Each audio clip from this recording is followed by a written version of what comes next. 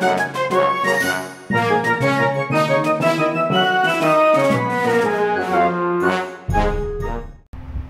pushing brings us to the 10th event of the Marble Sports Games Season 3 here in the Speedlands. Hello everybody, I'm the Emperor. Block pushing is going to be a bit different this time around. It's going to feature uh, the same track length and setup as we saw in qualifiers and Mid-Season Madness, but with an extra twist.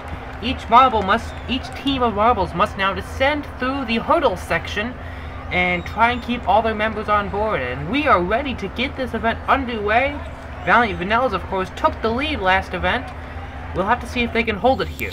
Oddball's our first team up. Again, an interesting lineup from this team. They never seem to use their captain in block pushing. Will it pay off? That's a good push with a 38.5 from the Oddballs.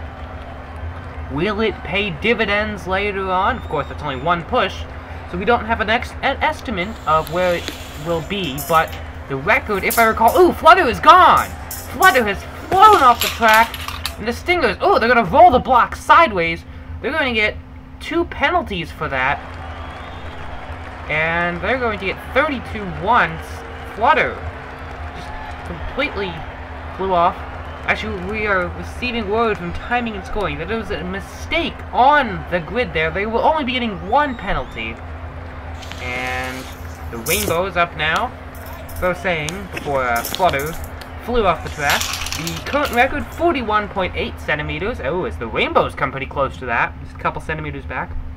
That record belonging to Team Nuclear. That was set in mid-season madness. Will Balls of Fire be able to break it here? They might! 40.8, that is really good. Balls of Fire to the lead. The Bronze Tigers up now. Ooh, Tiggy nearly comes to a stop in the lane back there. And, oh! Oh no! Bronze Tigers! oh, God. Oh, that's gotta be the most Bronze Tigers-like thing I have ever seen, if I've ever, yeah. Oh, the Bronze Tigers just continuing to tank after starting the season off so well. They had a silver in the relay race, but alas, it is all coming undone. That'll be an invalid run. Oh. They're sitting well down in the orders. True Blue puts up a paltry score of 32.3. Thunder Gods in the gate now. Track two there. They are off and rolling.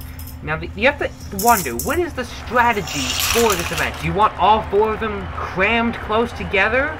Or do you want them spread apart? The Thunder Gods went for a spread apart strategy there, where all four are about equal lengths away from each other, and it paid dividends, and it is not doing so for the Greenies here. They crammed together, and it's going to go horribly wrong. 28.2.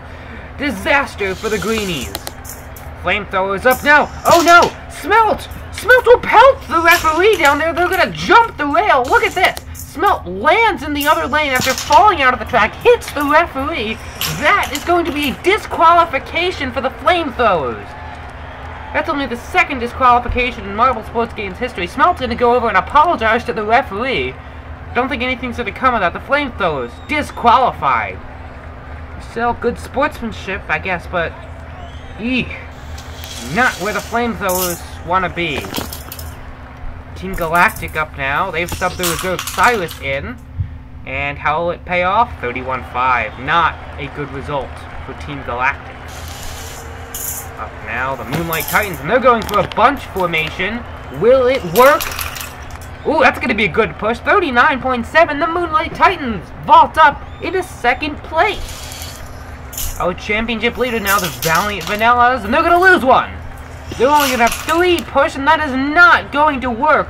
28.9. The Valiant Vanillas are in much trouble here. They have not had a bottom four finish since the final event of Season 1, but they might get one here as the Sterling Swarm will roll the block. That actually might work to their advantage. They're going to lose one, and we'll get a penalty centimeter, but that might have been a good strategy, actually, by the Sterling Swarm that moves them up into fourth place. Blue Moons now. How do they do? They look like they have a good run. They will have a good run. It is so good, it's good enough for a new record 43-2. The Blue Moons vault into first. Oh, and the Blue Blueberry Buttons are going to lose one similarly to how the Flamethrowers did. They're going to fall off. Not going to get anything going there. And this means the Blue Moons and Balls of Fire have clinched podiums, with the Dodgers the only remaining team. And they saved the best for last, possibly? Let's see what our hosts can do. All four of them are still on. They spread out, and it's not going to work. It is not going to work. The Blue Moons win gold! Balls of Fire pick up their fourth podium of the season. Moonlight Titans will get their second.